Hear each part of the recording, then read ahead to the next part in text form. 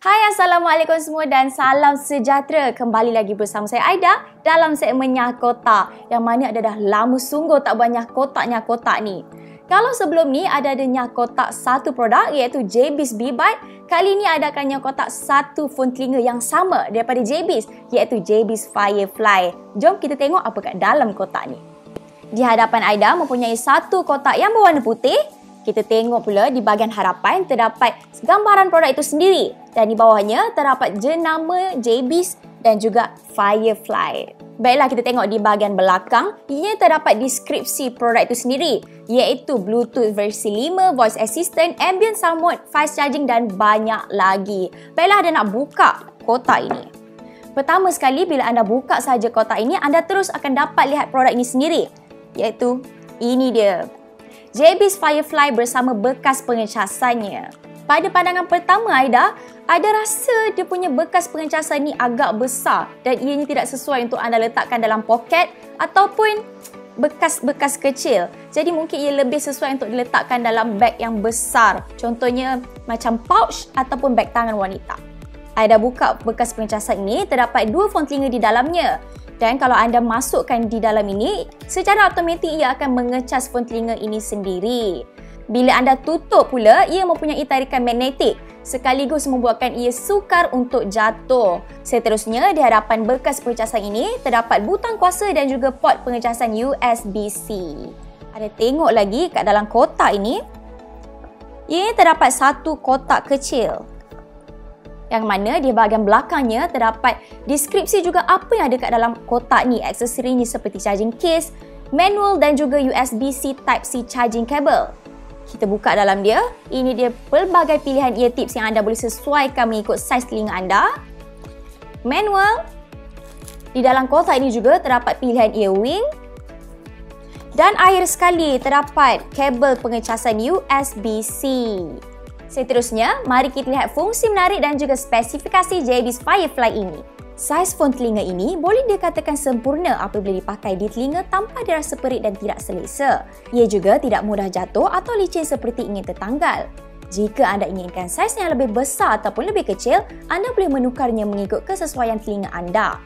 Jika anda lihat di sini, bentuk bekas penyimpanan ini seakan-akan seperti lampu suluh di mana tiada lagi zip untuk dibuka dan anda hanya perlu menarik bahagian atas bekas penyimpanan untuk mengambil phone telinga di dalamnya. Bekas penyimpanan phone telinga ini pula mempunyai tarikan magnetik, seterusnya membuatkan ia tidak mudah terbuka dan lebih selamat. Jadi, anda tidak perlu risau dengan risiko kehilangan phone telinga.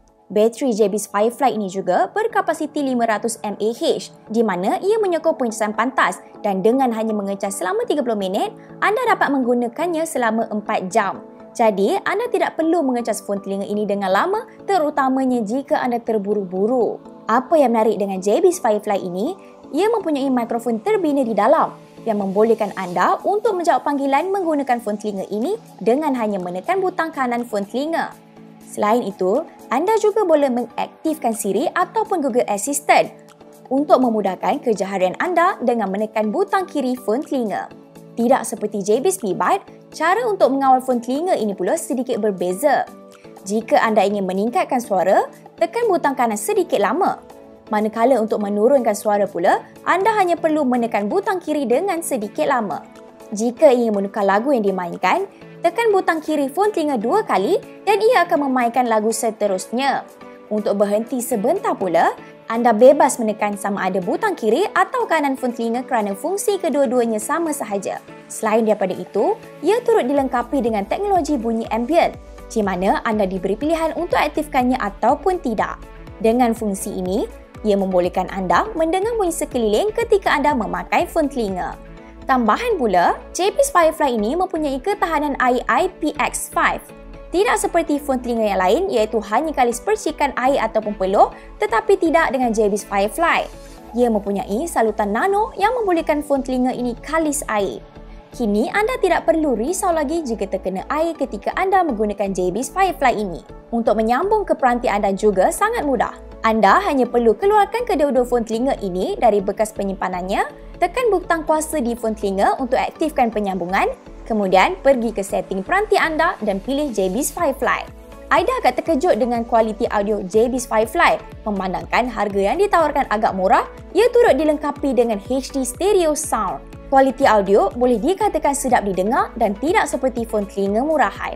Jadi itu saja kotak JB's Firefly dan anda yang berminat untuk dapatkannya, anda boleh dapatkan di laman rasmi mereka iaitu di Extro ataupun di kedai atas talian di Lazada. Dan ia juga ditawarkan dengan dua warna iaitu warna hitam dan juga Luxina pada harga RM399. Itu saja kotak bersama Aida Yash.